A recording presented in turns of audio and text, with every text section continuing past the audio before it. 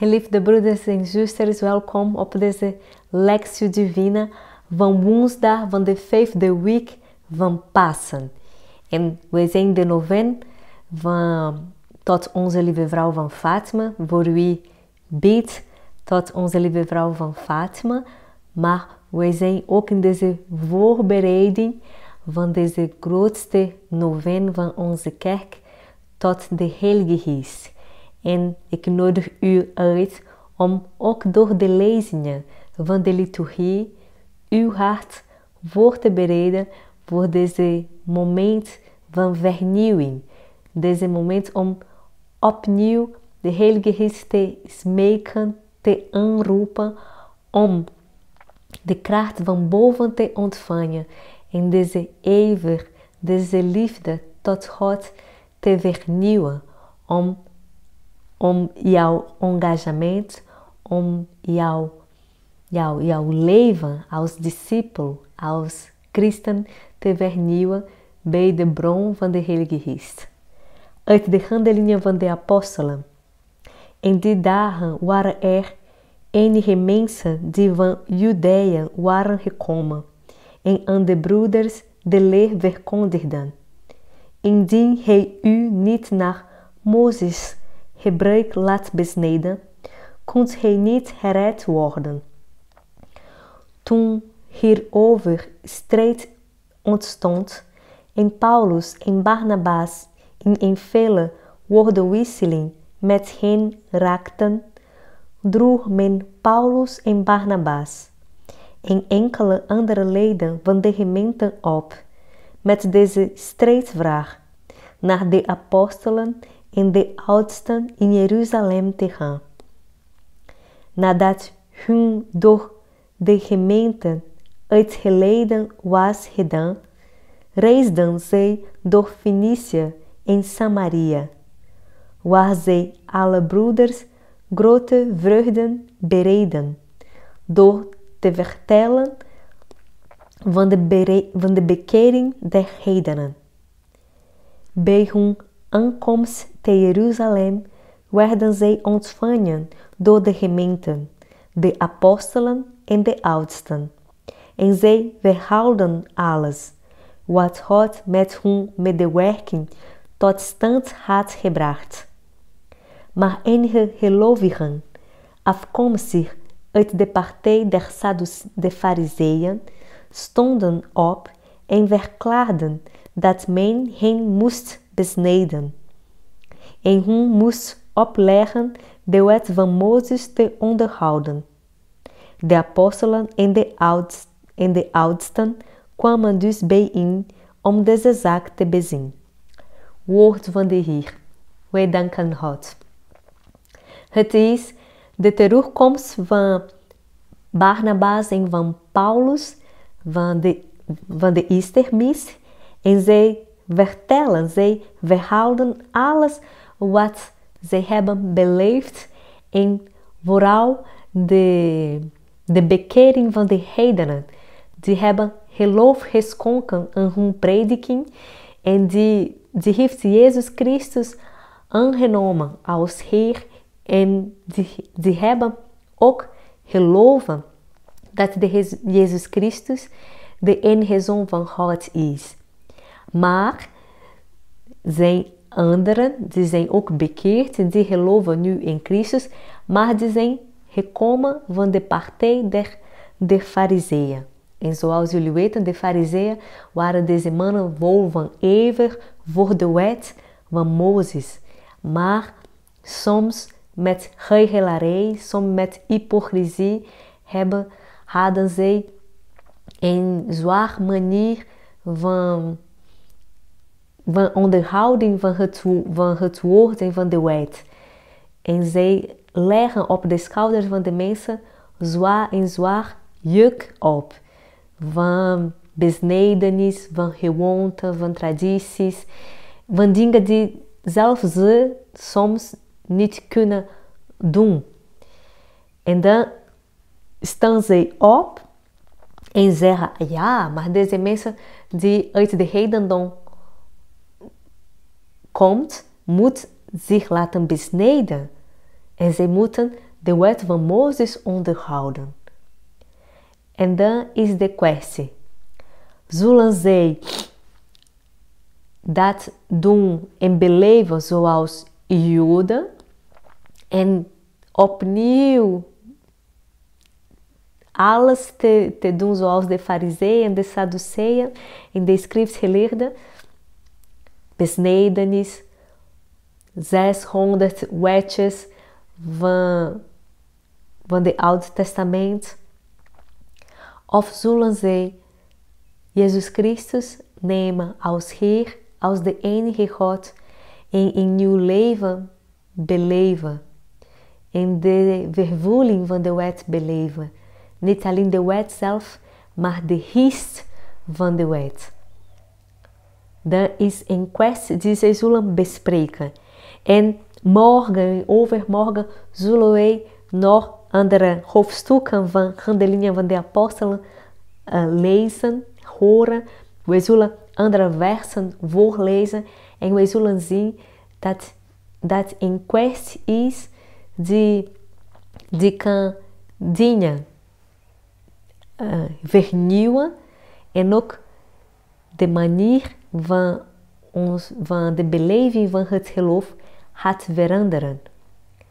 En om één te zijn met elkaar in deze nieuwe religie, moeten wij ook dingen bespreken, afspreken, maar de eenheid is de belangrijkste. En wij zullen zien dat deze kwestie heel belangrijk zal zijn en de kwestie van de eerste concilie van de kerk, de concilie van Jeruzalem. Deze kwestie van besnedenis, van de wet van Mozes, maar dat alles is besproken en, en, dat alles is gezien met eenheid. Niet zonder strijd, maar toch hebben zij de band van de eenheid en van de vreugde en van de vrede bewaren. En wij zullen morgen verder luisteren en bezinnen. Psalm 122 Hoe blij was ik toen mij meeriep. Wij trekken naar Gods huis. Nu maar mij voet Jeruzalem, uw poorten binnentreden. Jeruzalem, ommuurde stad, zo dichtbij op ingebouwd. Naar u trekken de stammen op, de stammen van Gods volk. Zij gaan naar Israëls gebruik, de naam van God vereren. Daar staan de zetels van het recht, de troon van Davids huis. Uit het heilige evangelie volgens Johannes. In die tijd zei Jezus tot zijn leerlingen, Ik ben de ware wijnstok mijn vader is de wijnbouwer. Elk rank aan mij die geen vrucht draagt, snijdt hij af. En elk die wel vrucht draagt, zuivert hij, opdat zij meer vrucht mag dragen. Hij zijt alrein, dankzij het woord dat ik tot u gesproken heb. Blijft in mij, dan blijf ik in u. Zoals de rank geen vrucht kan dragen uit zichzelf, maar alleen als zij blijft aan de wijnstok. Zo hij evenmin als hij niet blijft in mij. Ik ben de wijnstok, hij de ranken. Wie in mij blijft, terwijl terwijl ik blijf in hem. Die draagt veel vrucht, want los van mij komt hij niets. Als iemand niet in mij blijft, wordt hij weggeworpen als de rank en verdord. Men brengt ze bij elkaar, gooit ze in het vuur en zij verbranden. Als hij in mij blijft en mijn woorden in u blijven, vraagt dan wat hij wilt en hij zult het krijgen. Hierdoor wordt mijn vader verheerlijkt, dat hij rijke vruchten draagt. Zo zult hij mijn leerlingen zijn. Woord van de Heer. Wij danken God. Wij kennen al deze beeld die Jezus Christus gebruikt van de wijnstok en van de wijnbouwer. Hij is de wijnstok. Ik ben de ware wijnstok. En de vader is de wijnbouwer. Dus twee beelden voor ons vandaag. De wijnstok en de wijnbouwer. En wij zijn de ranken van de wijnstok. Maar wij kunnen alleen vruchten voortbrengen als wij blijven gehangen aan de wijnstok.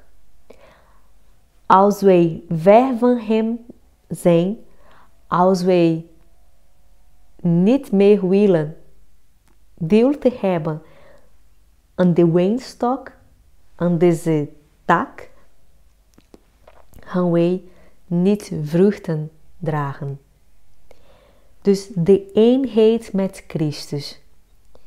En als wij leden van de kerk zijn, als wij leden van een groep, van een gemeenschap zijn, is zeker deze manier waarop Jezus één met ons wil zijn. En wij zullen zeker moeilijkheden beleven en op een bepaald moment willen wij opgeven en, en willen wij ja, alles loslaten. Maar de Heer vraagt, blijft in mij, blijft in mij. Waarom? Als Hij in mij blijft en mijn woorden in u blijven, vraagt dan wat Hij wilt en Hij zult het krijgen. Als Hij wilt vrede, verzoening, als Hij wilt eenheid, communie, als u wilt een nieuwe bekering, een nieuwe moed voor uw ziel. Hij gaat zeker krijgen, maar de oproep is blijven, blijven in Hem, volharden, blijven. Hierdoor wordt mijn Vader verheerlijkt. Hierdoor wordt mijn Vader verheerlijkt, dat Hij rijke vruchten draagt. En soms zullen wij de vruchten niet letterlijk zien, maar terwijl wij volharden, terwijl wij blijven, gaat Hij in ons bewerken. Deugden van vrede, deugden van vreugde, deugden van, van zuiveringen, deugden van, van volharding, van vruchtbaarheid, van een nieuw leven, geestelijk leven. Zo zult Hij mijn leerlingen zijn. Zo worden wij leerlingen van Christus. Maar we moeten blijven volharden en met een grote vertrouwen naar Hem opkijken. Wees gegroet Maria, vol van genade. De Heer is met u. Gezegend zijt Hij boven alle vrouwen. En gezegend is de vrucht van uw lichaam, Jezus. Heilige Maria, Moeder Gods, bid voor ons arme zondaars, nu in het uur van onze dood. Amen.